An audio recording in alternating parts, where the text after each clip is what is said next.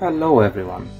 So we have finally been able to finish painting the uh, Kitagawa Marin figure, which was released recently.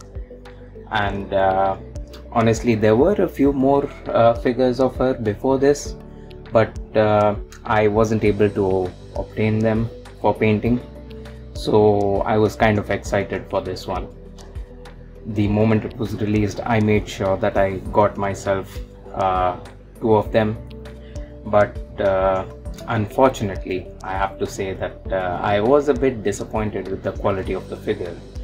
It had uh, a few dents from the uh, production itself, as in you could see from where the mold was released in the factory itself. So uh, it was a bit disappointing and uh, also I would say that I was a bit biased after uh, having worked on that figure from El Coco, Runa Shirakawa. Uh, that figure was like amazing quality and then all of a sudden I'm hit with this so my disappointment was a little more than I would be normally if if I had been working with uh, you know the same type of figures over time but uh, either way uh, since it had like a few things to be adjusted i had to work on uh, fixing them first with like sanding them down and then adding putty to fill up the dents. And this wasn't only on one figure so it, it was in both the figures that i bought. So i don't think that this was like uh, you know uh, a rare occurrence or something like that like some random defect. I think this is like it's it's present in all the figures out there. Like i am uh, I, I would assume that that's the case. So either way uh, as usual we paint it in cel shaded style. And uh, this time it's a recording of of the painting itself. Tried to keep her skin tone as light as possible because all the illustrations and stuff i see uh, she is shown to be very pale. Uh, so I, I, decided to stick to that theme and uh, you know try to work with it a bit. Uh, also in the video, anytime you see me adding something with a dropper, it is either the retarder which is used to uh, prevent paint from drying quickly uh, or it is uh, thinner which also does the same thing but retarder I would say is the stronger solvent and thinner is this particular paint thinner I'm using is for paint brushing like for when you're working with paint brushes. There is a separate thinner which uh, is used for airbrushing but I don't I don't really get that. I just add retarder with the thinner and it works just fine. So those are the two I would say uh, thinning liquids or materials I use for my paints especially since right now it's quite hot and humid and uh, these paints tend to dry up pretty quickly.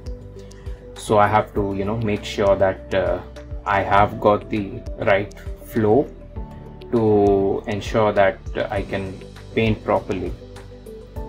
Anyways uh, this was I would say this took a little extra energy from me. I I don't know what it was. Maybe it was the quality that threw me off, or uh, or just that I was tired from you know uh, painting figures.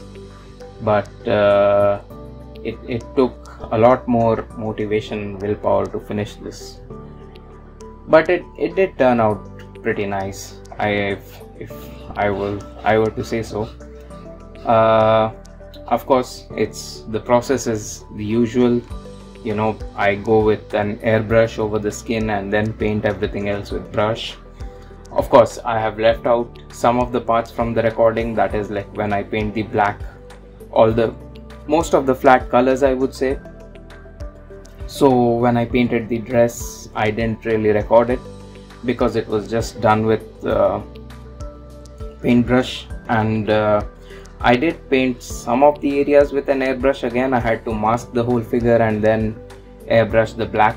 Uh, I think I used it for the leggings. So for the leggings I had to you know mask the whole figure and then paint it accordingly. So yeah i'm not a very big fan of masking because of uh, how much time it takes and you have to ensure that there are no gaps left. Otherwise you'll have color leak from one region to another and uh, that spoils things so even in this one if uh, uh, i don't i don't know if i've posted any images. I think i've posted in some images at some places but uh, just to you know give a general idea there was some color leak around the thighs which i had to fix later on. So yeah that is why i'm not really a big fan of masking and uh, airbrushing. Hopefully i'll you know get better with that in the future but otherwise yeah this was uh, this was an interesting uh, figure to paint. You know interesting challenge i would say. Not not something uh, i come across daily because of the uh, uh, i would say willpower that it took to finish this. So for the hair i i tried to uh, keep it as light as possible. And honestly on camera it looks a lot better actually. After uh, after it was uh, done i had added like the top coat and everything. I still wanted to uh, do a little bit more so i decided to add some white highlights on her hair and uh, the result is is actually quite nice. I mean it's it's satisfying to look at. So honestly if you ask me this is a smaller figure compared to others and uh, in general i wouldn't say it would take as much time.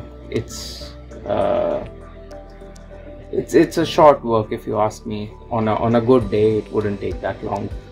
But either way i had to redraw the eyes which was uh, a bit of uh, a bit of a pain i would say. Uh, eyes are always you know difficult because of the size but it's interesting because i could i managed to get uh, some good amount of detail in it and uh, to me it looks really nice. So yeah that's uh, i would say that's all i have to talk about this the process at least because there is nothing really that special that i did in this. It's all just mixing colors and figuring out what is good and what's not and i have i think i've repeated those things quite a few times in my previous videos. So yeah and uh, of course now we can you know move on to uh, discussing about the character it's, uh, character itself. So uh, i did post this up on a few places and uh, i was actually interested in knowing why people are so uh, uh, captivated by this character because uh, from what I can see, there is a good amount of fan following for her, uh, and uh, I I don't know. I haven't been able to uh, keep up with the manga and anime from the beginning. Like I think I had started it, then it dropped off, and never had the time to go back.